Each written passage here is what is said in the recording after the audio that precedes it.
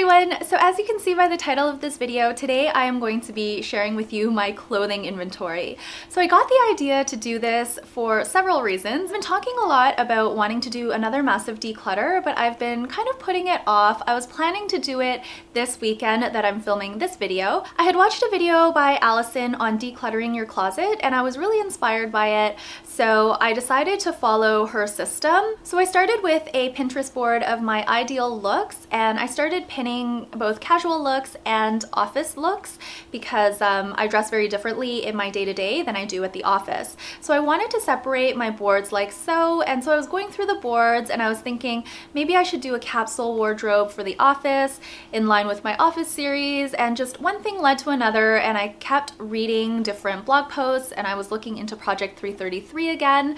I was just doing anything and everything to procrastinate on decluttering my closet. And then I came across this post where a blogger was embarking on her version of Project 333 and she actually started out with a clothing inventory. So I thought, what a great idea. I had done my makeup inventory back in September and it really opened my eyes as to how many products I have versus um, what I want as my ideal and there is a huge discrepancy between my current collection which is way too big and my ideal collection which is probably a little bit unrealistic but it is an ideal. I think I've done a lot and I think I've decluttered a lot, but I have so much more to do because I'm about halfway through my inventory as I'm recording this and I was astounded by some of the numbers. I still have so much even though I'm trying really hard to declutter and pare down. And sometimes I even think about going out to buy more.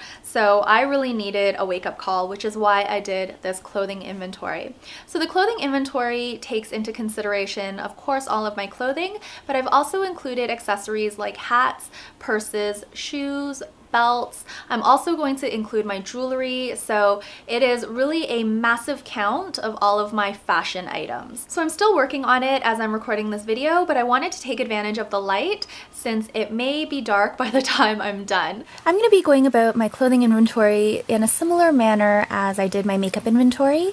So here is the list that I wrote out of all the different categories and I may need to add to these.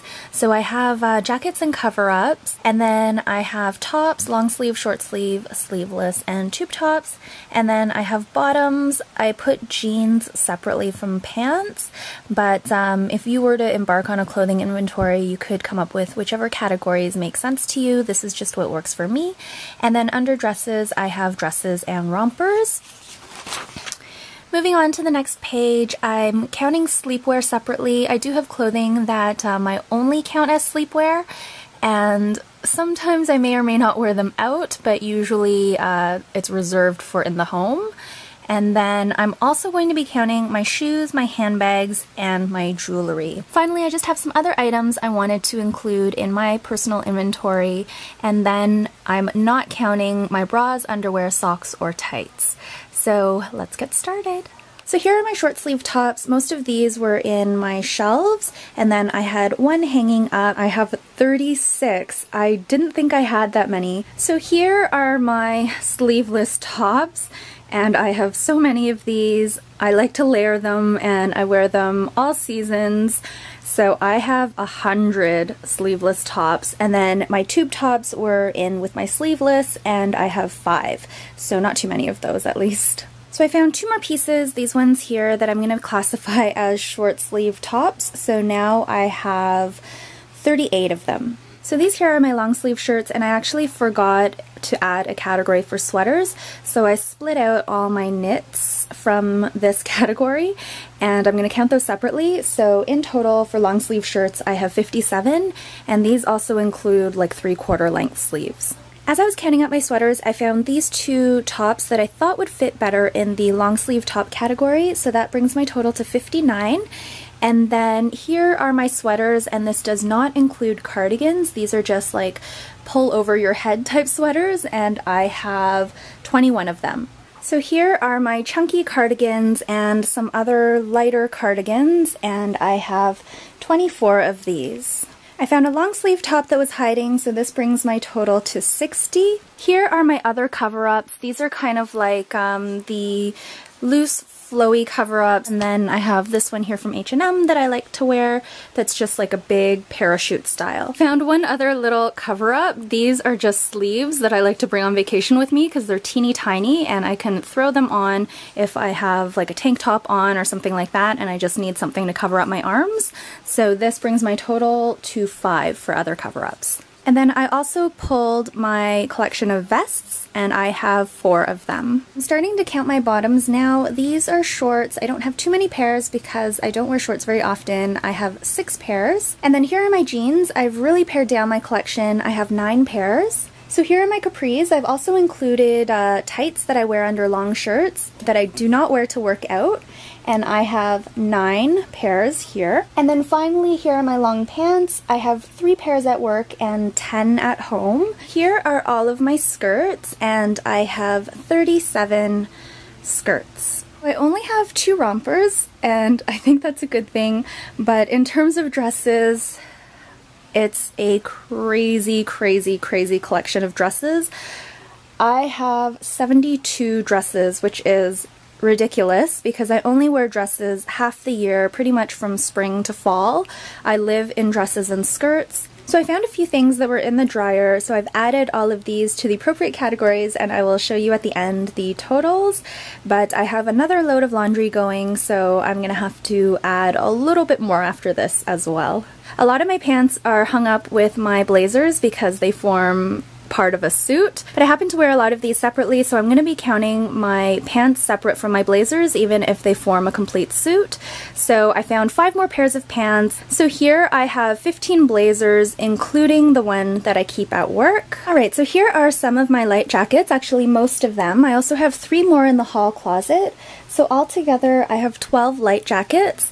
I also forgot to count my um, faux fur vest, so I added one to my vest collection, bringing it to five. And these two are part of my collection of what I'm categorizing as coats. So I have two coats in the bedroom and then the rest are in my hall closet. Altogether, I have 11 coats and these range from like true winter coats to um, coats such as these which are more appropriate for like fall and early winter.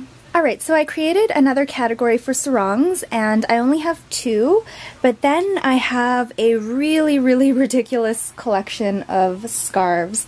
I actually didn't realize I had this many. I actually have 48 scarves.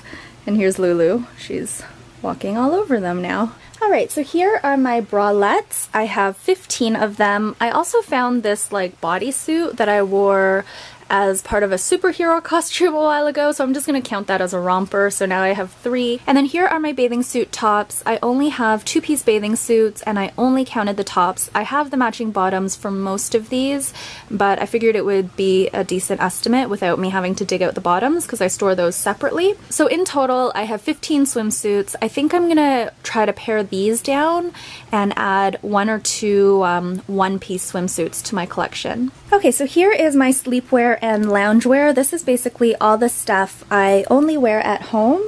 So I have a few different categories and all of it is in front of me here. So I have nine tops, six bottoms, and that includes what I'm wearing right now. And then I also have uh, three cardigans slash robes that I only wear at home. And then I have 12 nightgowns and I have three yukata. And the yukata are those um, Japanese robes that I picked up when I was on vacation. So here are some of my miscellaneous accessories. I have a lot of gloves and mittens considering I only wore, I think, two or three pairs all winter long.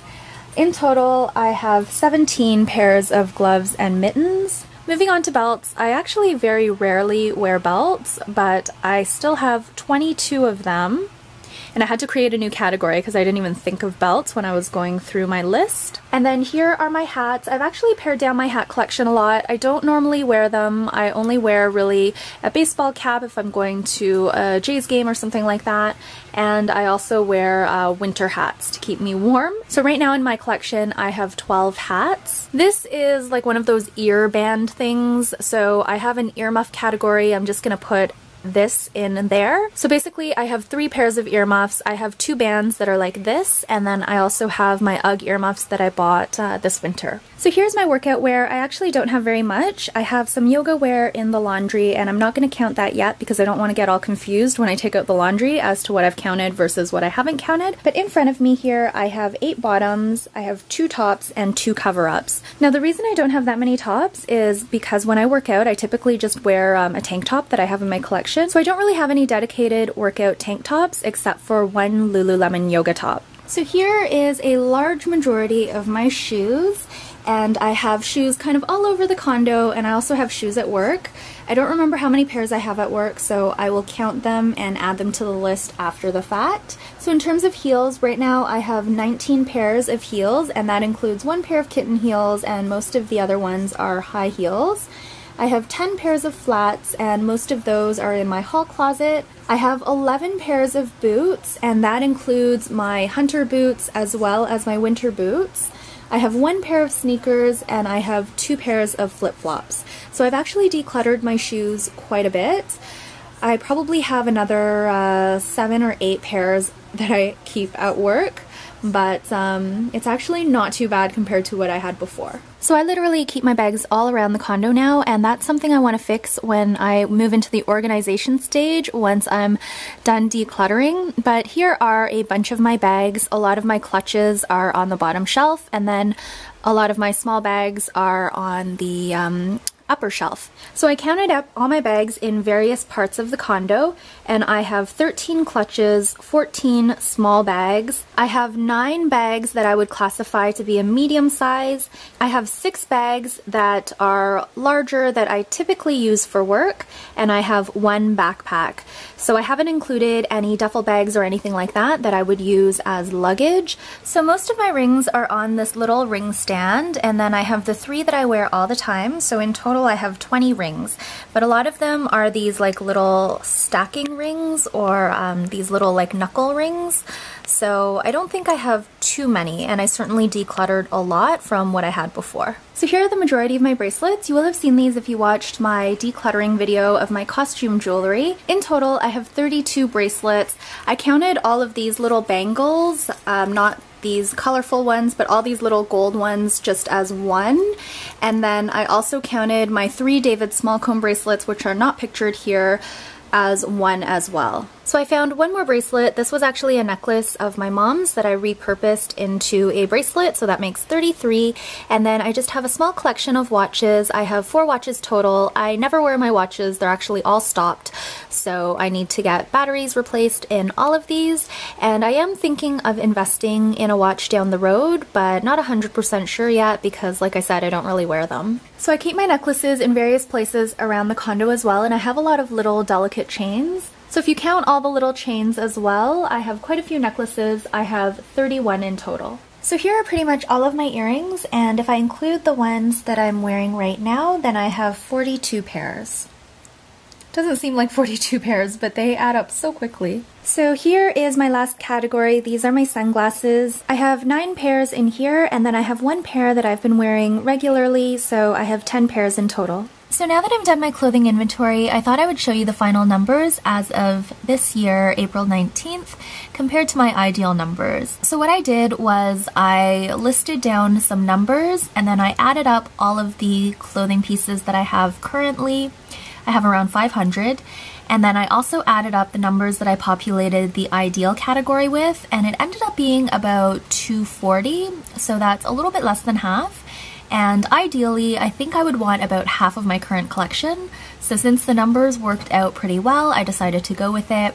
I don't know if I'll ever get there, but um, it's going to be my ideal for now. That's going to be the target I have in mind. So let's start with jackets and cover-ups. I'm doing okay in this area. The only place I really, really need to pare down is in cardigans.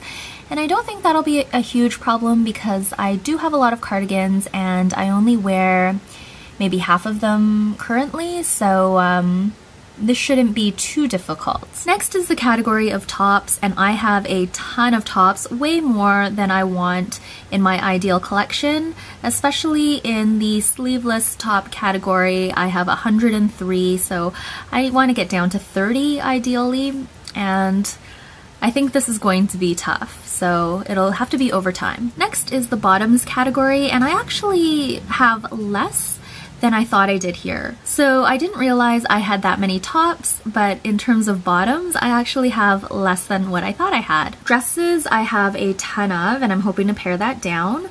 Workout wear, I'm doing really well, probably because I don't really work out. So I may take some of my sleeveless tops and put them in my workout wear category and try to use them exclusively to work out in. In terms of sleepwear and loungewear, I don't think I'm doing too badly in this area either. I don't really wear a whole lot of nightgowns anymore. I used to wear them all the time, but now I prefer separates, like just a comfortable pair of pants with like a sleeveless top. So I could definitely pare down on my nightgowns category. For shoes, I don't have as many pairs as I thought I did, but I don't wear high heels that that often besides at work. So I could definitely pare down on the number of high heels that I keep at home and that I wear just from time to time. In terms of handbags, I don't really want as many handbags as I currently have. I mean, I love all my handbags, I love my collection, but I think it is a little bit excessive.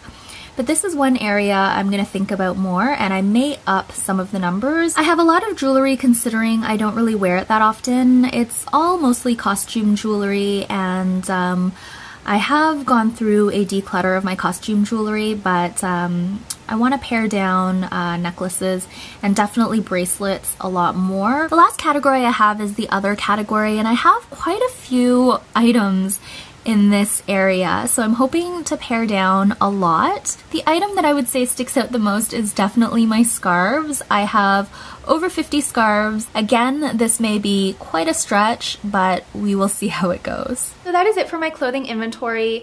Like my makeup inventory, I put in some ideal numbers that I may or may not ever reach, but again, I wanted to focus on ideal versus realistic or attainable. My ideal numbers are a little bit higher than what I had under my makeup inventory, but that's because clothing is less perishable, although there are issues with having too much clothing stored for a very long time. There are issues such as odors like a musty smell or um, fibers breaking down or the garment losing its shape. So for me personally, I feel that having too much clothing is still not a good thing and I really want to make it so that my wardrobe is not stuffed to the brim and I can easily pick out stuff and have um, all my clothing in really good condition because it's not jam-packed together and like all squished together. So that's going to be it for today. Please let me know if you would ever embark on a clothing inventory journey and if you do decide to do this type of inventory, I would love to hear some of your numbers or maybe you could link your blog post or your video and I will definitely check it out.